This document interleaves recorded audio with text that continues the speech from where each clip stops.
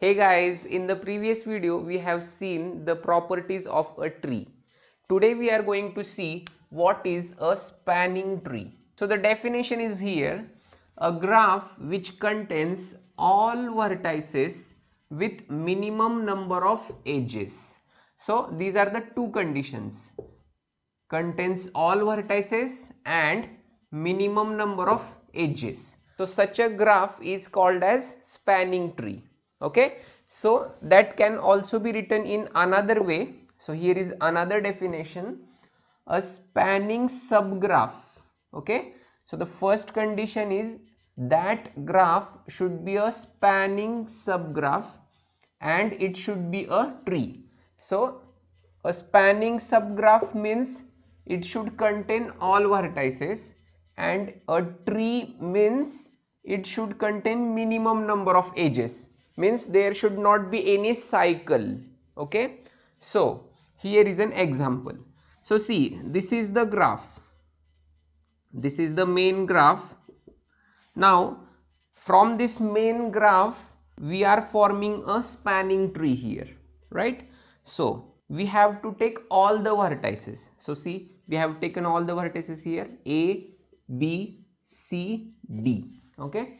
Now start from A to B. So we draw edge A to B, then B to D. Okay. Then D to C. Right.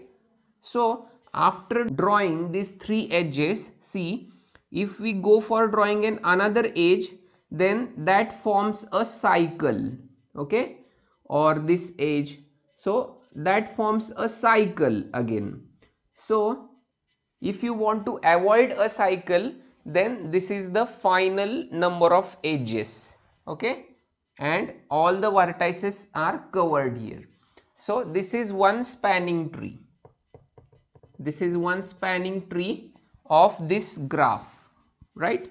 Now for the same graph there can be many spanning trees. So here is an another spanning tree if you take another three edges A to C, then A to D and D to B, then it forms an another spanning tree. So this is the second spanning tree. The only condition is that it should contain all the vertices in the main graph, all vertices in the main graph and minimum number of edges. So if you want to take minimum number of edges and if you want the graph to stay connected because it is a tree so it should always stay connected then the number of edges are always n minus 1 so what is the meaning of minimum number of edges? The edges should be n minus 1 okay? So if there are n vertices that is 4 vertices here then the edges should be 4 minus 1 that is 3 so if the vertices are n the number of vertices are n then number of edges will be n minus 1 okay? So this is the condition let's draw an another spanning tree. So if you take suppose if you take these two edges and and another edge like this. So this forms an another spanning tree. So see these are the vertices a b c and d. From this graph we have formed an another spanning tree. By taking four vertices all the four vertices and three edges they are different edges so in this way there can be many spanning trees. Now just for helping you to understand better i have added one more example. So see this is the graph. And how many vertices are there in this graph? One, two, three, four, five, and 6 okay? So 6 vertices means number of edges in the spanning tree will be 6 minus 1 that is 5 okay because that is n minus 1 so n minus 1 is 6 minus 1 in this case. So 5 edges. Okay? So let's start with any first edge. You can take any edge as the first edge right? There can be many spanning trees. So we can use any edge for starting. So i will use ad Now you can use AB. So how many edges are over? two edges are over. We need three more to form five edges. But while taking the edges, you should always remember that it should not form a cycle. There should not be a cycle because it is a tree, right? So, now BC. Let me take BC. Okay. Now, can we take CD? Can we take this edge? No, we cannot take because it forms a cycle. It forms a cycle if we take CD. So, I will take CF. CF. How many edges are over? 1, 2, 3 and 4. See 1, 2, 3 and 4. So these are the edges taken. Now the final edge you can take any edge either FG or AG. Both don't form a cycle. So I may take AG. See. So this is the spanning tree. So this is one spanning tree formed here. You can make another spanning tree. C A B then C, then take CD now. Now you cannot take DA because it forms a cycle. So you cannot take DA now. Okay. So take AG. Right.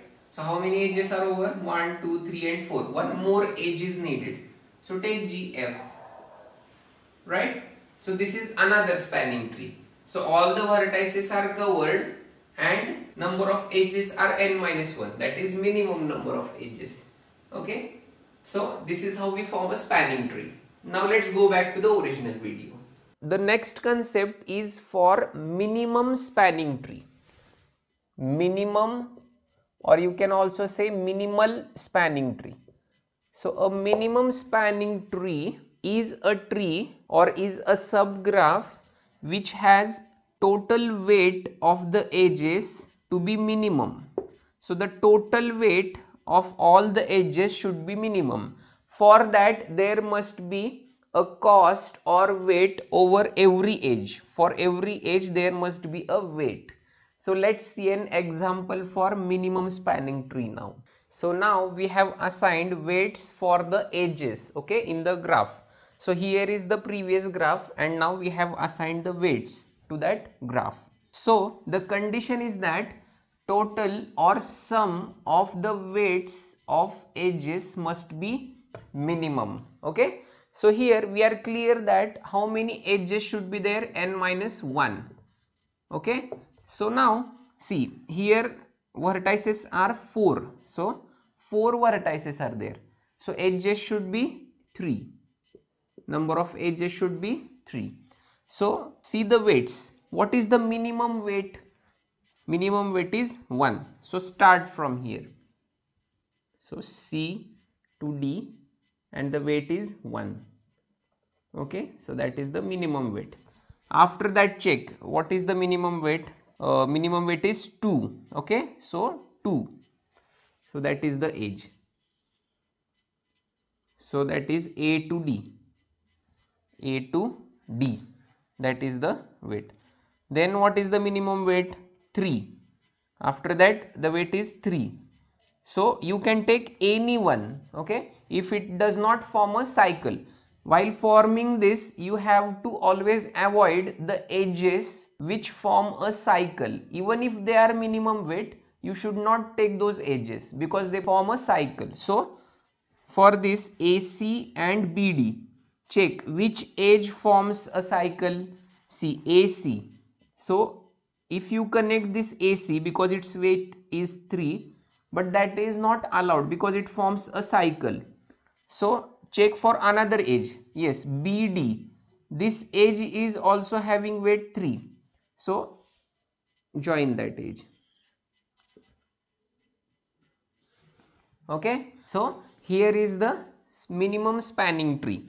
Let's give the weights. See 1 then 2 and 3 so here this is the minimum spanning tree for this graph. So in this way we can form minimum spanning tree. Now let's go for another graph. See this is the another graph. So how many vertices are there? 1 2 3 4 5 and 6 as 6 vertices are there number of edges should be 5 right?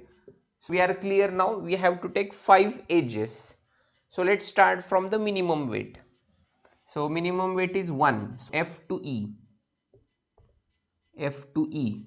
The weight is 1 now now let's check whether there is another weight as 1 yes there is an another weight as 1 see any number of weights can be there with value 1 so you have to take all those edges with the same value only condition is that it should not form a cycle while adding those edges so bc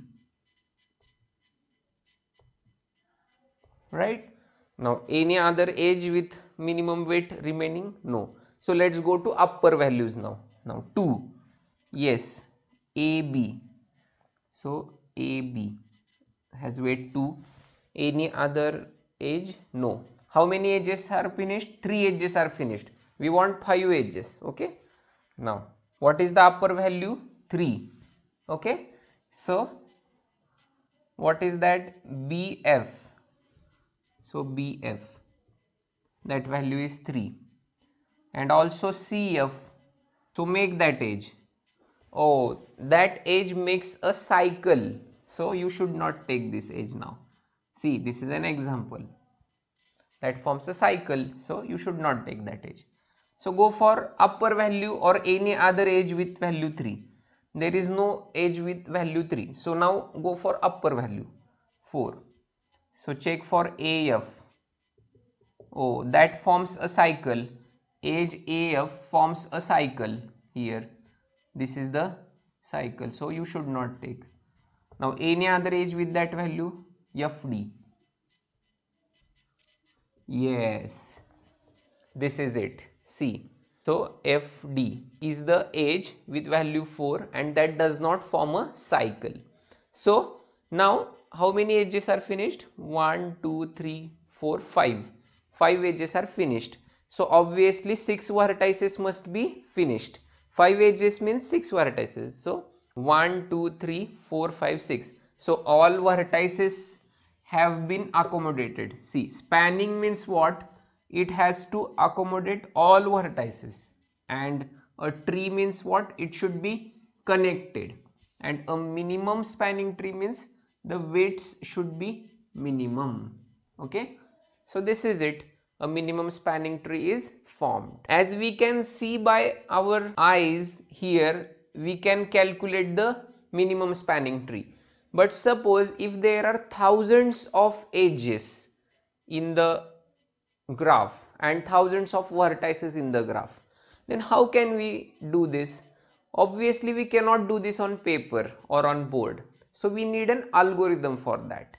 So there are two algorithms. One is Prim's algorithm for finding out minimum spanning tree and another is Kruskal's algorithm. Okay. So these are the two algorithms for finding out minimum spanning tree.